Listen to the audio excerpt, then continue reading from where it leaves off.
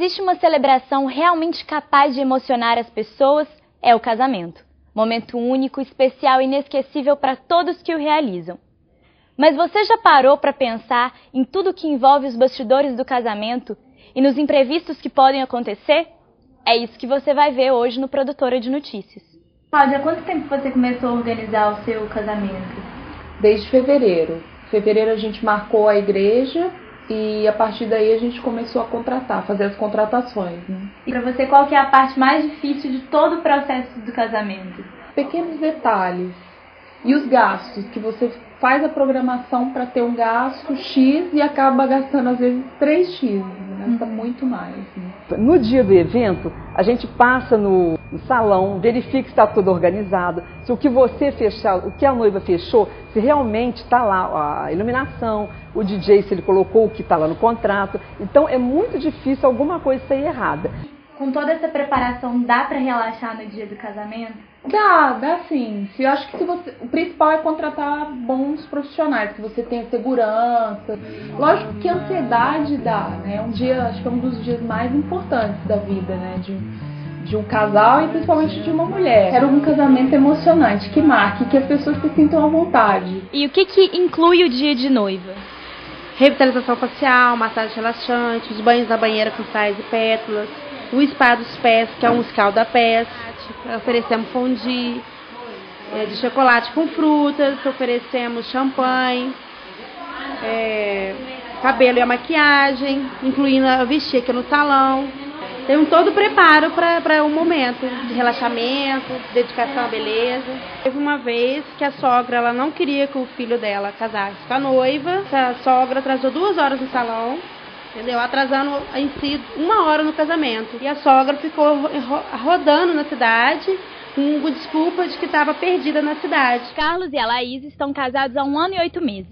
Laís, como foi organizar o casamento de vocês? Foi meio complicado, porque eu nosso casamento foi em São Paulo, né?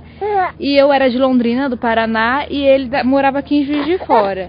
Então, teve que ser tudo resolvido meio por e-mail, por telefone. Tudo... E como que é a vida de casada? É boa. É. Bem boa. o casamento de vocês teve muita coisa engraçada, né? Normalmente, pelo menos eu acho, o pessoal ensaia, né? Nós não ensaiamos nada. E chegou na hora, ela entrou com o pai dela e eu tava lá em cima do altar e fiquei olhando para ela assim e esqueci daquele momento da música que tinha que buscar ela.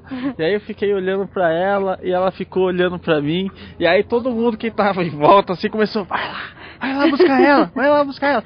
Todo mundo lá embaixo apontando pra ela assim. Aí eu olhei pro lado, todo mundo apontando. Aí eu, eu? Eu? Eu fazer o quê? Eu ir buscar ela? É, você ir buscar. Aí que eu me lembrei que eu tinha que buscar a noiva lá. Carol, como é que foi o seu casamento? É, eu casei só no civil. Nós iríamos nos casar em novembro, no civil e no religioso. Veio a convocação dele para ele ir para o Haiti, em missão de paz. E aconteceu alguma coisa inusitada no seu casamento? Estoura um cano na cidade. Falta água na casa do meu sogro, onde seria a recepção pós o civil. Tive uma ideia de o vizinho cedeu a água da piscina. Aí todo mundo se arrumou então, tomou banho com a água da piscina. Tudo com a água da piscina. No final deu tudo certo. Casamento deu certo, recepção depois.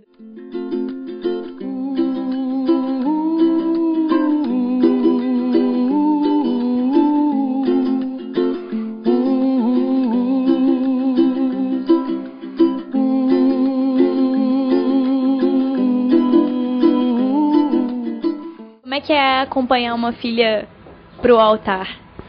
É emocionante. Você parece que você não vai ter coragem, né? Você fica se preparando, tal, mas no momento dá tudo daquela força. E qual que é o papel do pai na organização do casamento? Olha, ele ajuda muito se ele não ficar dando palpite, sabe? E o pai o apoio mesmo é só no, na, na, parte do bolso, né?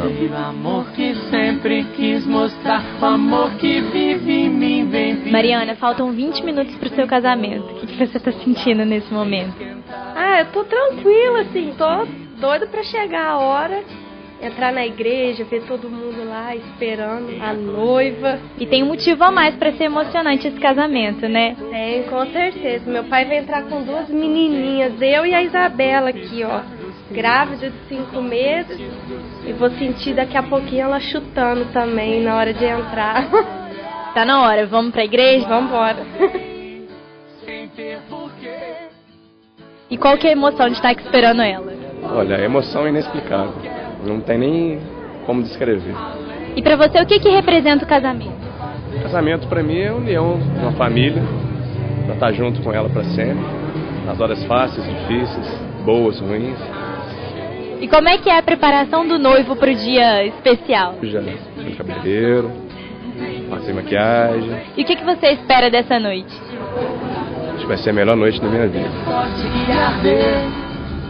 No fogo gelo vai queimar. Pra você guardei o amor que aprendi vem dos meus pais, o amor que. E agora, Mariana, como é que tá o coração? Ai, agora tá batendo forte. Olha pra começar logo, pra eu entrar e ver todo mundo lá, todas as pessoas assim queridas, olhando pra gente, abençoando esse momento que é único e eterno, né? Com nós três agora, família unida sempre. Gostoso. Obrigada.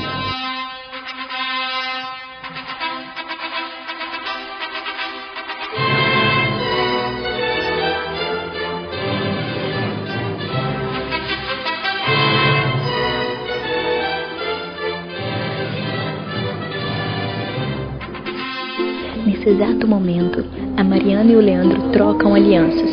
Depois de tanta organização, de tanta ansiedade, de tanta coisa que envolve a preparação de um casamento, eles finalmente concretizam o sonho.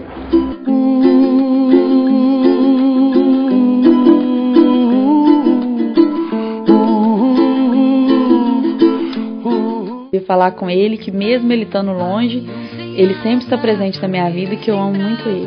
Eu estou esperando ele. Futebol sem bola, piu-piu sem frajola, sou eu.